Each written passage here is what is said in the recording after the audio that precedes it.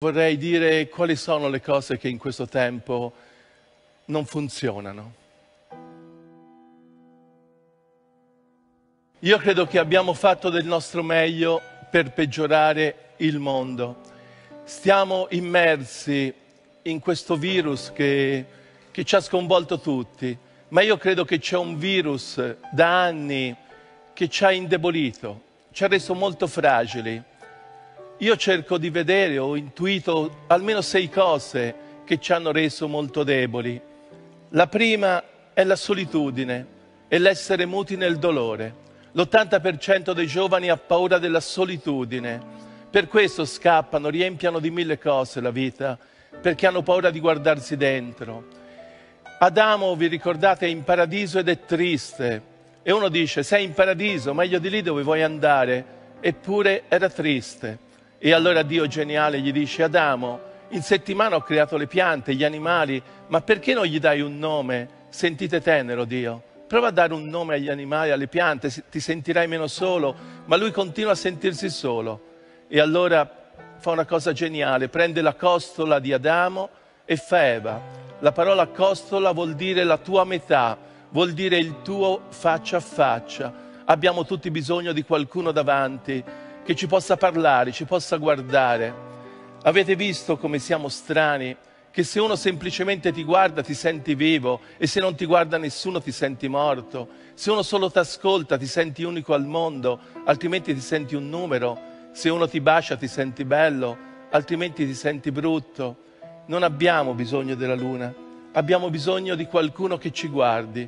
Abbiamo bisogno di un pezzo di pane, di un po' d'affetto, per togliere questa solitudine che si annida dentro di noi. La seconda cosa che non funziona sono i ritmi folli che viviamo da troppi anni. Quando io parlo ai giovani gli dico ma cosa pensi di tuo padre e di tua madre? Ormai quasi tutti dicono mio padre e mia madre sono esauriti e penso che hanno ragione. Si trovano un modo di adulti che corre dalla mattina alla sera, non sai dove vanno, con questi ritmi folli, da quando è nato il mondo, non si è mai campato così, si seminava, si aspettava, se non si fa oggi si fa domani. Dice Baudelaire che il ritmo di una città è più veloce del ritmo del cuore dell'uomo. E se il ritmo che vivi è più veloce del ritmo del cuore o ti prende un infarto non sei fatto per campare così. E se sentiamo il cuore non è poco, ci basterebbe per campare questi ritmi cosa hanno fatto? Hanno separato mente, corpo e anima. Corpo qui, la testa di là, l'anima non si sa dov'è.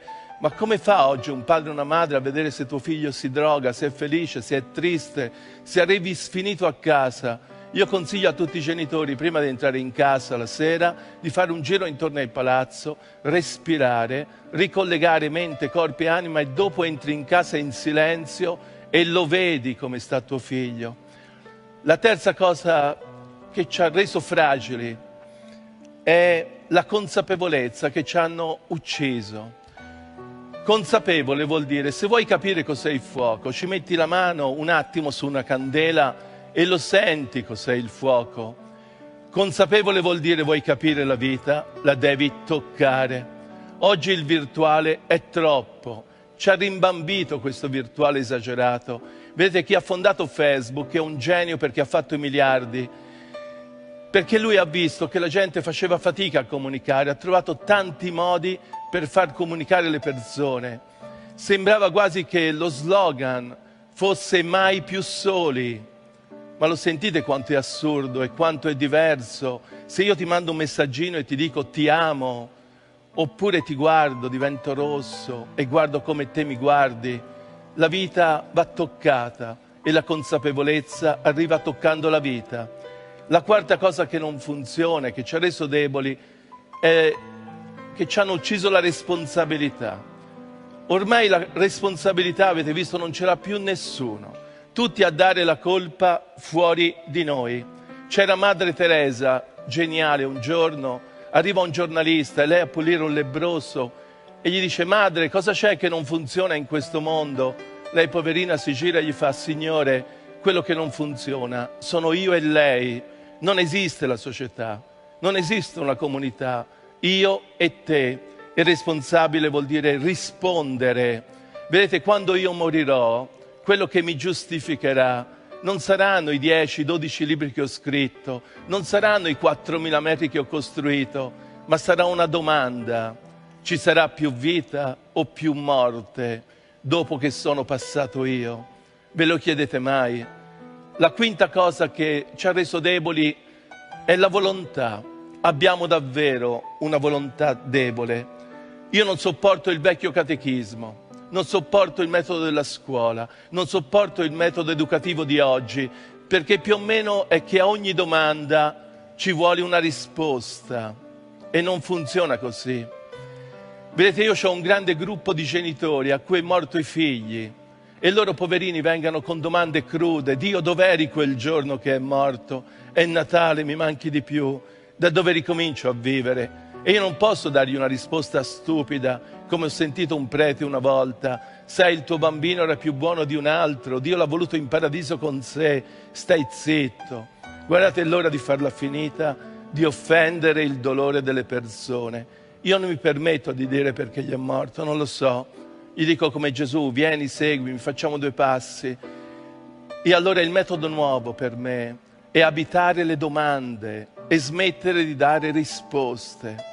Se un bambino ha paura non posso fargli un discorso teorico sulla paura, lo abbraccio, ma il danno peggiore che abbiamo fatto a questi figli, gli abbiamo spianato troppo la strada, abbiamo fatto troppo noi per loro. E vedete, senza fatica non si raggiunge nulla. E attenti all'amore. L'amore non fa sempre bene, questo amore buttato là. Perché l'amore fino a un certo punto fa crescere un figlio se lo ami troppo lo rimbambisci, perché l'amore non deve servire per coccolarti, ma per farti camminare, per renderti libero, per farti volare. E l'ultima cosa debole è che ci hanno scollegato i sogni dalla vita. I sogni sono quasi utopia, la realtà è mediocre e se non riesci a abbracciare un sogno con la vita non starai mai bene. Vi ricordate San Francesco? Trova due righe di Vangelo. Si può essere liberi come gli uccelli del cielo, crescere come i fiori dei campi, cercare il regno di Dio, poi mangiare il vestito si trova. Lui ha voluto vivere così, che è morto in pace alla porziuncola, perché un sogno l'ha davvero vissuto. Allora torniamo a sognare, perché c'era un sogno sognato che bisognava sognare.